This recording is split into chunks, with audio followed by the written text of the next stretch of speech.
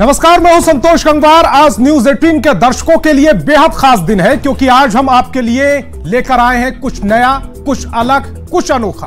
क्योंकि आज से हम शुरू कर रहे हैं छे का सिक्सर। अब से रोज इसी समय पर हम आपको देश दुनिया, जहान की हर वो बड़ी खबर दिखाएँगे, जो आपको जानना बेहद ज़रूरी है। हम आपको बताएँगे कि बिहार, झारखंड और देश में क्या चल रहा है। दुनिया संसार में क्या कुछ हो रहा है? खबरें लॉ एंड ऑर्डर से जुड़ी होंगी, खेल जगत से जुड़ी हो सकती है, ये सब कुछ हम आपको यहीं बताएँगे। कारोबार से लेकर शेयर बाज़ार की अहम जानकारी देंगे और अंत में बॉलीवुड, हॉलीवुड के साथ भोजपुर की, बॉलीवुड की भी, भोजपुर की भी सब खबरें हम आपको मनोरंजन की दुनिया की भी यहाँ पर दिखाएँगे। तो चलिए शुरुआत करते हैं, छह का सिक्सर की।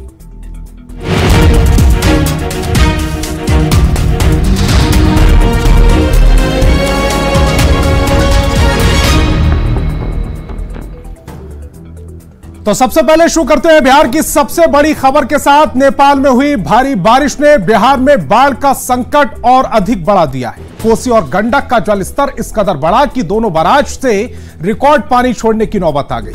कोसी सीमांचल क्षेत्र के हालात अभी और चिंताजनक बने हुए सरकार के मुताबिक बिहार में सारी ही नदियाँ उफान पर है। सोलह जिलों में बाढ़ से हालात बद से बदतर होते जा रहे हैं। रेस्क्यू ऑपरेशन के लिए एनडीआरएफ की 12 और एसडीआरएफ की 22 टीमें तैनात हैं। गृह मंत्रालय की रिपोर्ट के मुताबिक बिहार में गंडक, बागमती, धारधा, गंगा, बूढ़ी, कोसी, अधवारा, कमला, बलान, कमल, महानंदा, परमान और फुलहर नदी में पानी खतरे के निशान के ऊपर चल रहा है, यानी कि खतरे के निशान के ऊपर बह रहा है। दो तस्वीरें समय आपकी टेलीविज़न स्क्रीन पर। एक तरफ़ सड़कों पर नाव चलानी पड़ रही है दूर दूर तक सिर्फ़ पानी दिख रहा है और जो सड़कें हैं वो दरिया में तब्दील हो गई हैं। और दूसरी तरफ़ हम पानी का तेज बहाव दिखा रहे हैं। किस कदर पानी सैलाब बनकर बह रहा है और अपनी चपेट में सब कुछ ले जाने को आमदा है। इस तस, दोनों ही तस्वीरें आपको डरा सकती हैं परेशान कर सकती हैं लेकिन हकीकत यही है बिहार की जो स्थिति है उनको इन दोनों तस्वीरों से समझा जा सकता है। और बाढ़ को लेकर जल संसाधन मंत्री विजय चौधरी ने कहा है कि नेपाल में मानसून की स्थिति और बारिश से हम लोग ज़्यादा प्रभावित होते हैं। पानी का बहाव पिछले चार दिनों में बहुत ज़्यादा हुआ है। जाने कि इस बार किस तरीके से हम लोगों ने पिछले करीब 60 घंटे विभाग में तनाव और चुनौती पूर्ण रहे हैं। वो हमारे लोगों ने उस स्थिति का किया है। लेकिन कहीं कहीं हमारे प्रयास पूर्ण सफल नहीं हुए। और इस बीच दिल्ली से बड़ी खबर मिल रही है। बिहार के डिप्टी सीएम सम्राट चौधरी ने केंद्रीय जल शक्ति मंत्री सी आर पाटिल से मुलाकात की। बिहार के बाढ़ के हालात पर उनसे बातचीत की। डिप्टी सीएम ने पत्र लिखकर मांग की है कि कोसी क्षेत्र में भारतीय सीमा में एक बड़े बैराज का निर्माण हो। ये मांग की गई है ताकि जो बिहार को बाढ़ से बचाया जा सके उस मुलाकात के दौरान की तस्वीरें इस समय आपकी टेलीविज़न स्क्रीन पर है, जिसमें केंद्रीय जल शक्ति मंत्री नज़र आ रहे हैं और इसके अलावा बिहार के डिप्टी सीएम भी इस तस्वीर में नज़र आ रहे हैं।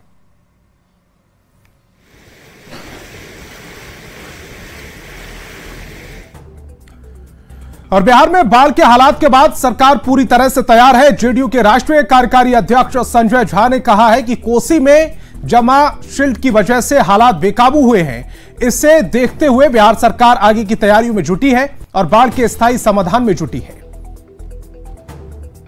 ये चैलेंज है। सबसे बड़ा है कि इसको आपस में तूतू मैं मैं नहीं करके लॉन्ग टर्म सॉल्यूशन एक तो जो काम हुआ, उस वो बिहार सरकार का किया हुआ काम है कि इतना पानी के बाब आने के बावजूद भी बहुत जगह ब्रीच नहीं हुआ, बहुत जान माल का सुरक्षा हुआ।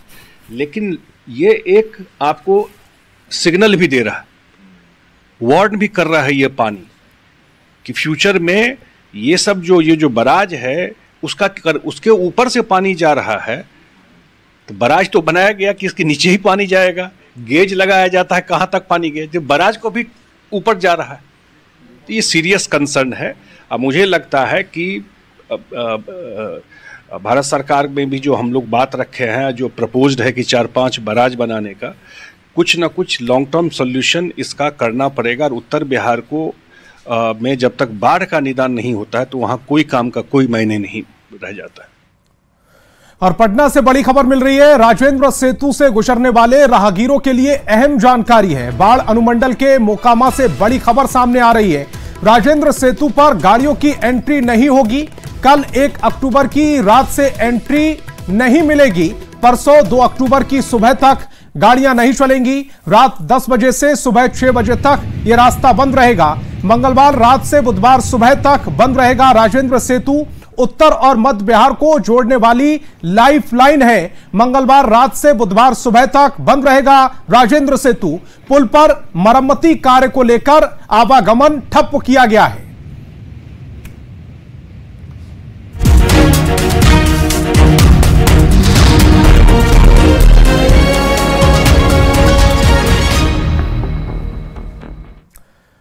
और अब बात करते हैं देश विदेश की। बड़ी खबर सियासी गलियारों से है। ओडिशा के राज्यपाल रघुबर दास ने दिल्ली पहुँचे, जिसको लेकर चर्चाओं के बाज़ार अब गर्म है। चर्चा है कि क्या रघुबर दास झारखंड में विधानसभा का चुनाव लड़ेंगे?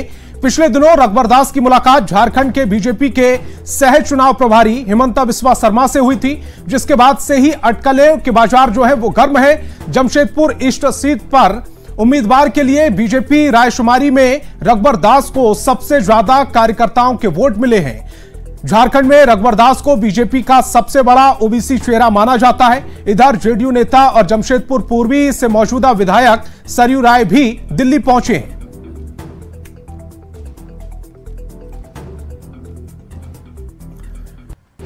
और कांग्रेस अध्यक्ष मल्लिकार्जुन खड़गे की ओर से प्रधानमंत्री नरेंद्र मोदी को लेकर दिए गए बयान पर सियासी घमासान जारी है। खड़गे की टिप्पणी पर गृह मंत्री अमित शाह ने आपत्ति जताई और सोशल मीडिया प्लेटफॉर्म एक्स पर लिखा है कि मल्लिकार्जुन खड़गे ने अपने भाषण में अपमानजनक व्यवहार करके खुद अपने नेताओं और अपनी पार्टी को पीछे छोड़ दिया। अपनी कटुता का परिचय देते हुए खरगे ने बिना मतलब के प्रधानमंत्री मोदी को अपने निजी स्वास्थ्य के मामले में घसीटते हुए कहा है कि वे प्रधानमंत्री मोदी को सत्ता से हटाकर ही दम लेंगे। इससे पता चलता है कि इन कांग्रेसियों में प्रधानमंत्री नरेंद्र मोदी के प्रति कितनी नफरत और डर है कि वे हर समय उनके बारे में सोचते रहते हैं। बीजेपी को ये कब समझ में आएगा कि कांग्रेस पार्टी नरेंद्र मोदी से नफरत नहीं बल्कि देश से मोहब्बत करती है, इसलिए चाहती है कि ये देश मोदी जी की विचारधारा और मोदी जी से मुक्त हो। वो प्रधानमंत्री के पद से हटें, ये हम चाहते हैं।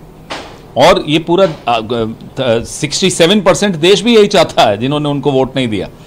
तो उनसे नफरत, वो अपने आप को क्या समझते हैं कि वही वही है सब कुछ, कि उन्हीं से नफरत होगी, उन्हीं से मोहब्बत होगी? नहीं जी, हमें देश से मोहब्बत है, इसलिए चाहते हैं कि आप साइड में हटिए आप।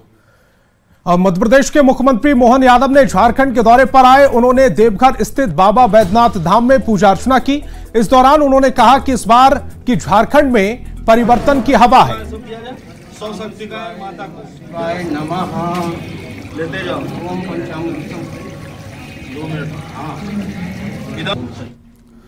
और दुर्गा पूजा के मौके पर डीजे बजवाने पर सरकार की ओर से रोक लगा दी गई है, जिस पर राजनीति गर्मा गई है। भवनाथपुर से बीजेपी विधायक भानु प्रताप शाही ने हेमंत सरकार को खुली चुनौती दी है। दुर्गा पूजा में डीजे बजेगा और दुनिया की कोई ताकत नहीं रोक सकती।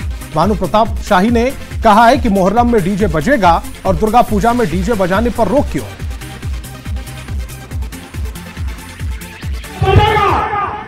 लेकिन दुर्गा पूजा में नहीं बजेगा हाँ, हेमंत सोरेन कान खोल करके सुन लो हम हिंदू परिवार की तरफ़ से घोषणा करते हैं अबर बार नवरात्र और दुर्गा पूजा में डीजे बजेगा दुनिया का कोई ताकत नहीं रोक सकता है। यह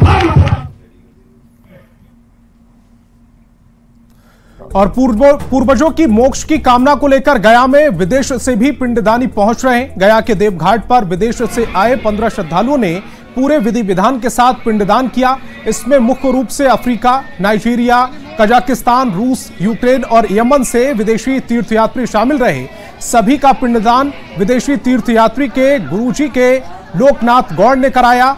इन विदेशी महिलाओं और पुरुषों में किसी ने अपने माता पिता पति और बेटे के लिए मोक्ष की कामना के लिए पिंडदान किया।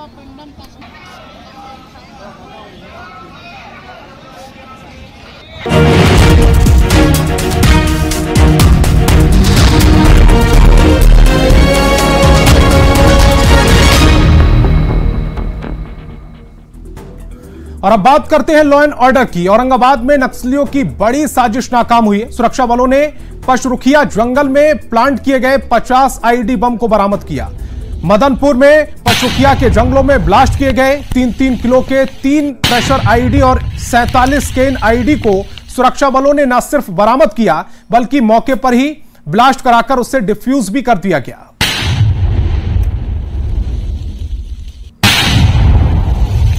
पचरुखिया का जो जंगल है, उसी में पचरुखिया पहाड़ से लगभग एक किलोमीटर एरिया के अंदर तीन प्रेशर आईडी बरामद किया गया, जो लगभग तीन से चार केजी का था। साथ में गोवर्धन एक पचरुखिया पहाड़ के पास में ही स्थान है, वहाँ से सैतालीस, यानी 47 केन आईडी बरामद किया गया, जिसका वज़न जो है लगभग एक से दो किलोग्राम था।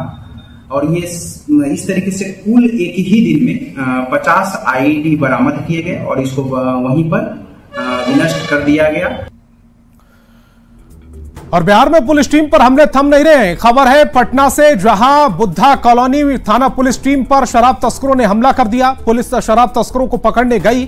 शराब तस्करों ने पुलिस टीम पर पथराव के साथ हाथापाई की। साथ ही पुलिस गाड़ी में भी तोड़फोड़ की है। पुलिस हमलावरों की पहचान कर रही है। साथ ही नौ लोगों को गिरफ़्तार भी कर लिया गया।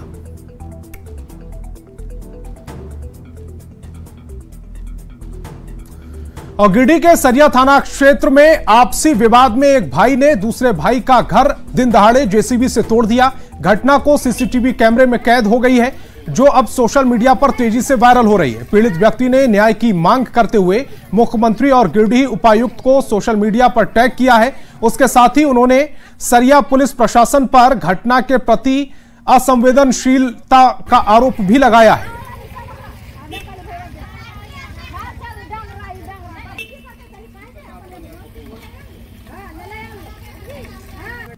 चार दिनों के पूर्व ये जो है दस लाख रुपये की डिमांड की थी, जिसका आवेदन हम सरिया थाना प्रभारी को दिए थे।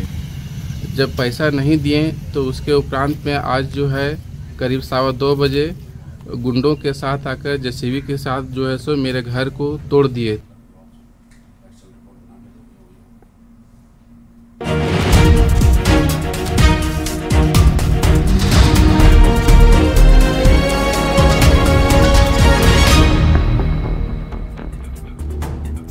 और अब बात करते हैं कारोबार जगत की। भारतीय शेयर बाजारों में आज तगड़ी गिरावट देखने को मिली। संसेक्स शुरुआती कारोबार में करीब 750 अंक लुढ़क कर चौरासी के स्तर पर आ गया। निफ्टी भी करीब 200 अंक टूटकर 24,980 के स्तर पर आ गया। इसके चलते कारोबार के पहले घंटे में ही बीएसआई में लिस्टेड कंपनियों का मार्केट कैंप करीब दो लाख करोड़ रुपए घटकर 475 लाख करोड़ रुपए पर आ गया है।